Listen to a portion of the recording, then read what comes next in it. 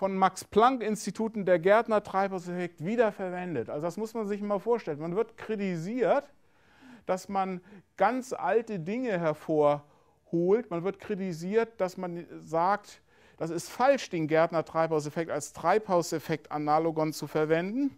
Das wird man kritisiert, aber die gleichen Leute benutzen ihn dann trotzdem noch, um ihre quasi religiöse Botschaft zu verbreiten. Und das ist schon äh, eine Unverschämtheit.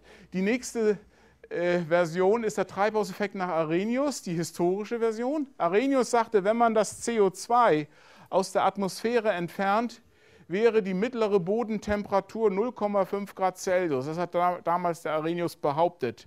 Das hieße eben mehr CO2, höhere Temperatur. Arrhenius schätzt ab, dass CO2 etwa 18,7 Prozent der Bodenstrahlung absorbiert und verwendet das sogenannte Stefan-Boltzmann-Gesetz in unzuverlässiger Weise. Das Stefan-Boltzmann-Gesetz ist ein physikalisches Gesetz, welches sagt, wie, wie, ähm, welche Strahlungsleistung ein schwarzer Körper der Temperatur T ähm, erbringt. Ähm, das Stefan-Boltzmann-Gesetz kann man als Näherung für ähm, reale Strahler verwenden.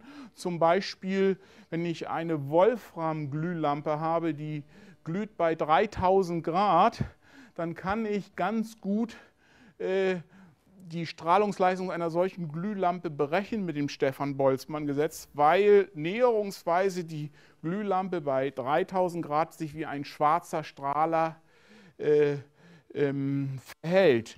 Sie alle kennen ja diese schönen Bilder äh, vom Schmied, dass ein Metall äh, zur Glut gebracht wird und je stärker es erhitzt wird, desto heller ist diese Glut. Das Farbspektrum verschiebt sich von dunkelrot bis äh, weiß, gelb, weiß. Und äh, wenn man jetzt die gesamte Strahlungsleistung nimmt, wird sie sehr gut durch das Stefan-Boltzmann-Gesetz beschrieben, äh, welches eine T hoch 4 Abhängigkeit äh, beschreibt. T hoch 4 ist T mal T mal T mal T. Man sieht also, wenn die Temperatur in die Höhe geht, dann steigt es ganz stark an, diese Strahlungsleistung. Und äh, der schwarze, ideal schwarze Körper ist praktisch ein schwarzes Objekt, welches erst anfängt zu glühen, wenn es heiß genug ist. Und ähm, es ist eine Konstruktion der theoretischen Physik und äh, anwendbar auf glühende Metalle. Es ist aber nicht gut anwendbar auf Gase, auf transparente Gase, überhaupt nicht gut anwendbar. Ähm, auch zum Beispiel auf unseren Erdboden ist es nicht gut anwendbar.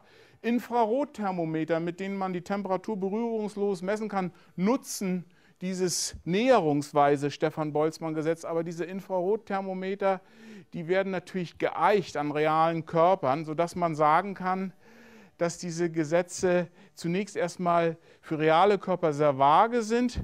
Entscheidend ist aber, dass Arrhenius dieses Gesetz noch falsch anwendet.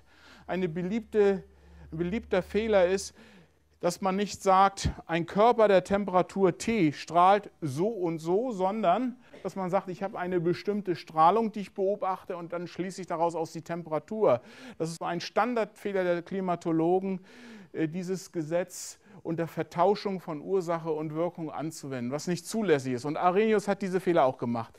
Die Computerklimatologen sagen, wenn man die CO2-Konzentration in der Modellatmosphäre verdoppelt, erhält man mit Computersimulation eine Erhöhung der mittleren bodennahen Temperaturen. Und dann gab es je nach Veröffentlichung mal diese Bandbreite, mal diese Bandbreite.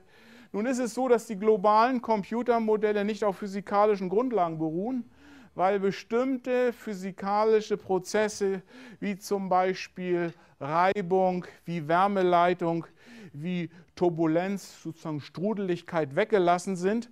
Und wenn man wichtige Sachen in Modellen weglässt, dann ist es eben keine Wissenschaft mehr, dann ist es nur noch Illustration von ähm, Spekulation. Nächste.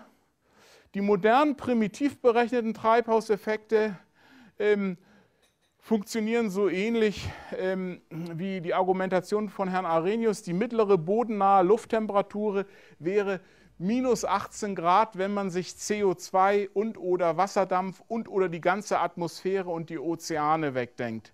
Verwendet wird die Strahlungsintensität der Sonne, die mittlere Einstrahlung, die Weisheit der Erde und die mittlere Temperatur der Erde. Und die mittlere Temperatur der Erde, die berechnet man aus der Strahlungsleistung, weil das aber ein T hoch 4 Gesetz ist, dreht man einfach die Formel um und zieht die vierte Wurzel aus der Strahlungsleistung, nachdem man vorher die Strahlungsleistung über die ganze Erde gemittelt hat. Und das ist physikalisch, mathematischer, völliger Unsinn.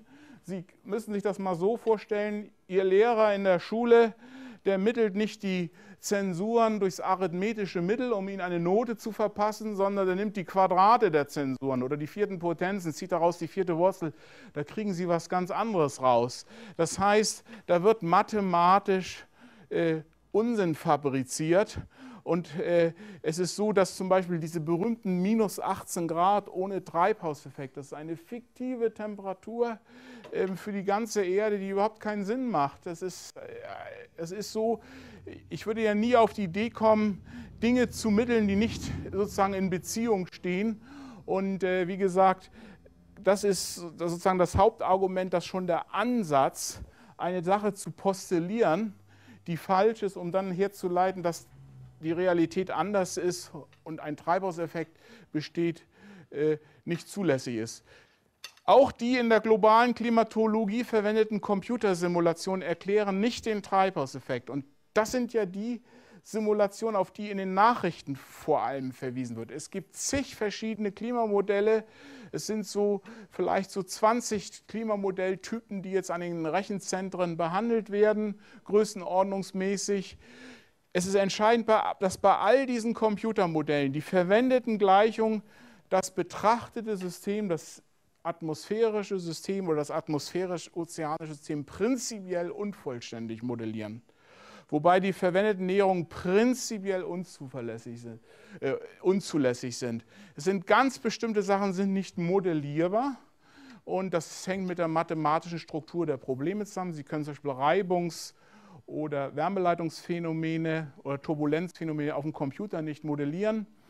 Bei nichtlinearen Zeitentwicklungsgleichungen, also sehr komplizierten mathematischen Gleichungen, ähm, kann man im Grunde genommen keine, ich will das mal vereinfacht ausdrücken, einfachen Formeln finden, die aus Mittelwerten Mittelwerten berechnen. Und man muss ja Mittelwerte reingeben, weil man gar nicht alles genau messen kann. Und es gibt eben keine einfachen Formeln, die zukünftige Mittelwerte aus vergangenen Mittelwerte berechnen. Denken Sie wieder an die Schulklasse, um was Populäres zu sagen. Sie können nie aus dem Mittelwert einer Klausur und äh, einer, einer Modell, wie der Lehrer sich verhaltet, den Mittelwert einer zukünftigen Klausur berechnen. Da gibt es einfach keine Formeln für. Es gibt natürlich immer einzelne Bewegungsgleichungen äh, für Einzelwerte, aber das äh, Atmosphärsystem ist eben viel zu komplex. Bei den Computersimulationen des Globalklimas handelt es sich um nutzlose Spielereien auf Kosten des Steuerzahlers.